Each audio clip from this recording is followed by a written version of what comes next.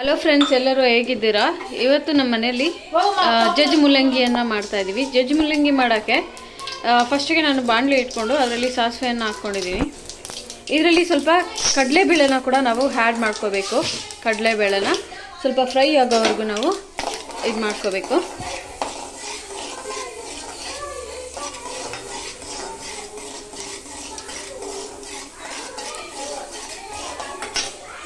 ತದನಂತರ ಒಂದು ಈರುಳ್ಳಿಯನ್ನು ಹಾಕೋಬೇಕು ಕಟ್ ಮಾಡಿ.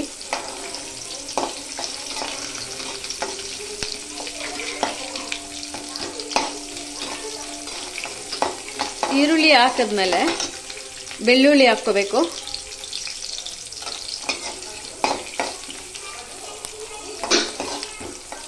ಆನಂತರ ಒಂದೆರಡು ಮೂರು ಕರಿವೆ ಕರಿವೆ ಸೊಪ್ಪು ಎಲೆಗಳನ್ನ ಸೇರಿಸ್ಕೊಳ್ಳಿ ಇದಕ್ಕೆ.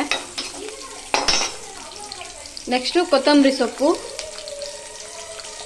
ಮೂಲಂಗಿ ಹಾಕ್ಕೋಬೇಕು. ಕಟ್ ಮಾಡಿಕೊಂಡು ತೊಳೆದುಬಿಟ್ಟು ಅದನ್ನು ಅಂದರೆ ಸಿಪ್ಪೆ ತೆಗೆದ್ಬಿಟ್ಟು ಅದನ್ನು ನೀಟಾಗಿ ಚಿಕ್ಕ ಚಿಕ್ಕದಾಗಿ ಕಟ್ ಮಾಡಿಕೊಂಡು ಅದನ್ನು ಹುರ್ಕೋಬೇಕು. ನೆಕ್ಸ್ಟ್ ಇದಕ್ಕೆ ಸ್ವಲ್ಪ ಕೊತ್ತಂಬರಿ ಸೊಪ್ಪು ಮತ್ತು ಹುಣಸೆಹಣ್ಣನ್ನು ನಾವು ಬಳಸ್ತೀವಿ. ಅದೇ ಜೊತೆಗೆ ಒಂದು ಟೊಮೆಟೊವನ್ನು ಕೂಡ ಇದಕ್ಕೆ ನೀವು ಹಾಕೋಬೇಕಾಗತ್ತೆ ಈ ಜಜ್ ಮೂಲಂಗಿ ಸಾರಿಗೆ ನೀವು ಬಂದ್ಬಿಟ್ಟು ಒಂದು ಟೊಮೆಟೊ ಕೂಡ ಆ್ಯಡ್ ಮಾಡ್ಕೋಬೋದು. ಅದೇ ರೀತಿಯಾಗಿ ಕೊತ್ತಂಬರಿ ಸೊಪ್ಪು, ಸ್ವಲ್ಪ ಹುಣಸೆ ಹಣ್ಣನ್ನು ಕೂಡ ಇದಕ್ಕಿನ್ನು ಆ್ಯಡ್ ಮಾಡ್ಕೋಬೇಕು.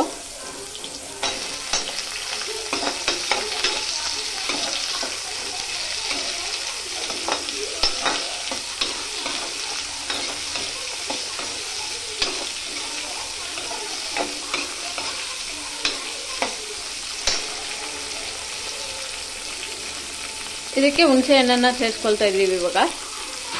ನೆಕ್ಸ್ಟ್ ಕೊತ್ತಂಬರಿ ಸೊಪ್ಪನ್ನು ಕೂಡ ಹಾಕ್ಕೊಂಡಿದ್ದಾಯಿತು ಈಗ ಇದನ್ನು ಸ್ವಲ್ಪ ಮಟ್ಟಿಗೆ ಒಂದೆರಡು ನಿಮಿಷದ ತನಕ ಫ್ರೈ ಅನ್ನೋದನ್ನು ಮಾಡ್ಕೋಬೇಕು. ಇದಕ್ಕೆ ನಾವು ಕಡಲೆ ಬೀಜ ಕೂಡ ಸ್ವಲ್ಪ ಹಾಕ್ಕೊತಾ ಇದ್ದೀವಿ. ಅಂದರೆ ಇಟ್ಕೊಂಡಿದ್ದೀನಿ ಆಲ್ರೆಡಿ ಅದನ್ನು ಈ ಮಿಶ್ರಣ ಈಗ ಒಂದೆರಡು ನಿಮಿಷದ ತನಕ ಫ್ರೈ ಆದಮೇಲೆ ಸ್ವಲ್ಪ ಹಾರಿಸ್ಬಿಟ್ಟು ಮಿಕ್ಸಿ ಜಾರ್ಗೆ ಹಾಕ್ಕೊಂಡು ಆಗ ಕಡಲೆ ಬೀಜನ ಅದರಲ್ಲಿ ಆ್ಯಡ್ ಮಾಡಿಕೊಂಡು ಇಟ್ಕೋಬೇಕಾಗತ್ತೆ.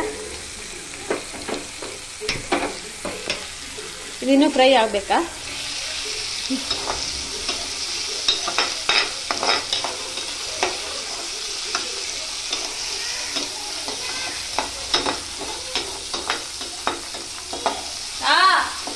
ಈ ಒಂದು ಮಿಶ್ರಣಕ್ಕೆ ನಾವು ಸ್ವಲ್ಪ ನಾಲ್ಕು ಹಸಿ ಒಣಮೆಣಸಿನ್ಕಾಯಿನ ಕೂಡ ಹಾಕ್ಕೊತಾ ಇದ್ದೀವಿ.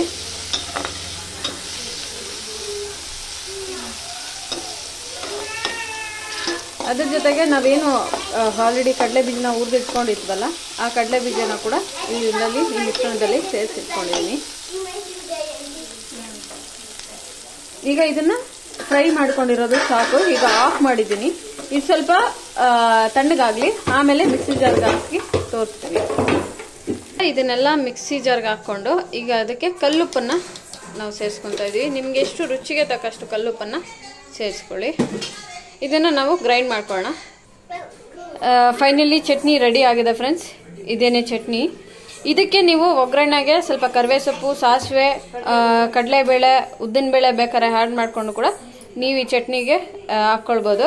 ಬಟ್ ನಾನೀಗ ಯಾವುದೇ ರೀತಿ ಒಗ್ಗರಣೆನ ಹಾಕ್ತಾಯಿಲ್ಲ ಇದೇ ರೀತಿಯಾಗಿ ಚಟ್ನಿನ ನೀವು ಮಾಡ್ಕೊಳ್ಳಿ. ಚಪಾತಿಗೆ, ಅನ್ನಕ್ಕೆ ತುಂಬಾ ರೊಟ್ಟಿಗೆ ಕೂಡ ತುಂಬಾ ಚೆನ್ನಾಗಿರುತ್ತೆ.